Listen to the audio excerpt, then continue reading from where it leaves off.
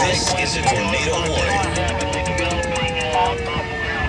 This is Jared Morello in Mobile 24, and we've got a funnel of ground in and on top of Mulvane. It's uh, extending to the ground. It's trying to get itself to the ground. Gotta get back the road, gotta get it. I'm looking directly south. Mulvane on K15. It's going to be about On the other side, in it's Sumner getting County, closer to the ground. just south of Definitely gonna be on the K15. ground now.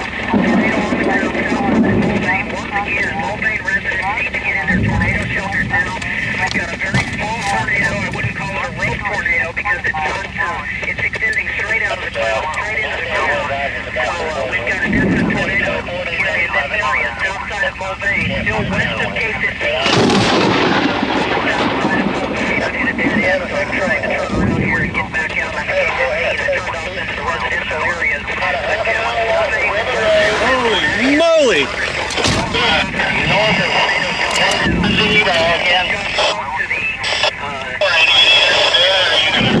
You can move quickly, go ahead. Stand by, sounding the sirens, and you know it this time. It is uh, definitely on the ground. Not really a shape to it yet. It's not. It's just. Uh, it's more of a rope, but it's not a wedge. It's kind of in between. It is definitely on the ground. I am at 159th Street East and 95th Street South.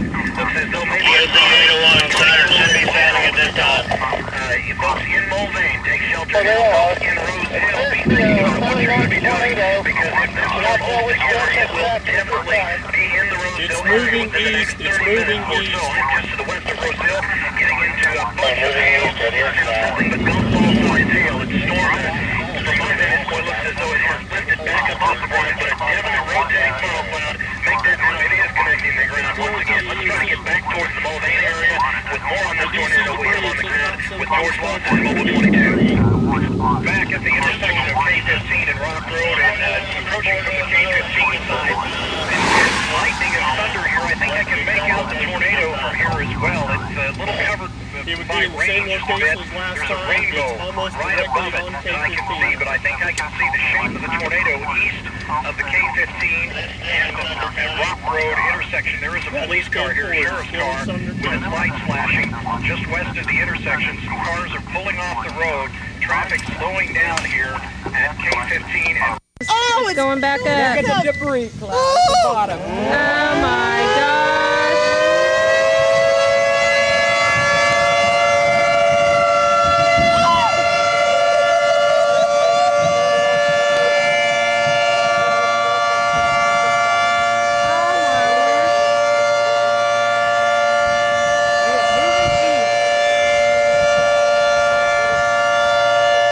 Look at that debris. It's extending to the ground. This tornado definitely on the ground, showing violent rotation on the ground south of Mulvane on K15. It is now crossed K15, and it is, uh, I would say, about a mile south of Mulvane. Just now crossing K15, and we definitely have violent rotation on the ground. I am seeing a dust cloud. I am not seeing any debris, but it does appear to be a dust cloud. This is well south of 55 Highway. Just to the east of K15 now, as the, the condensation part of the funnel does not appear to be reaching the ground, but we are seeing dust. And a dust cloud definitely protruding from the ground here on the south side of Mulvane into Sumner County now, as this thunderstorm is hardly, or this tornado rather, is hardly moving at all. And now I've got 25 mile an hour. in Mobile 24, I'm Sheriff Mark, can you give me the location of that Let's tornado now at this time? Mark Larson of KWCH Storm Team 12. Mark? Dan, I'm looking at that storm on uh, Super Digital Doppler radar, the one that Jared Cirillo has been reporting on live. We have the uh, rotation, the lock, and the tornado on the ground on Super Digital Doppler radar, just to the east side of Mulvane, east of K15. We've pinpointed that for you perfectly. This is a large complex of thunderstorms affecting northeastern Sumner, southeastern Sedgwick, and also southwestern Butler County. You need to continue to take your tornado precautions in these areas, uh, not just for the tornadic part of the thunderstorm, uh, but also for the uh, large hail. Have had reports of up to baseball size hail with this particular severe thunderstorm. So this is not one to be watching on the front porch. Need to stay away from windows and you need to continue to take your storm precautions in the areas I just mentioned. As Jared said, that the uh, tornado appeared to be nearly stationary. Uh, very erratic beasts, of the tornadoes, once they get to the ground, the friction in contact with the ground causes erratic behavior, meaning it may stay stationary for a bit and then start to jet off in a certain direction and very unexpectedly. So the whole complex is moving storm-wise to the east northeast at approximately 20 miles an hour. This tornado is at the southern flank of the storm. Looking at it on live storm.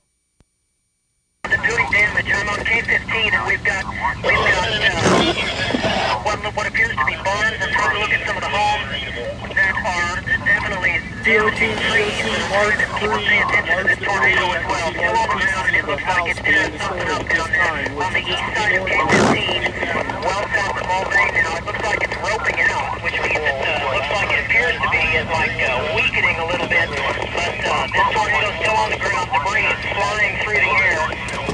And uh, it continues to rope out a little bit though, but it's still causing quite a Hello, number Stage.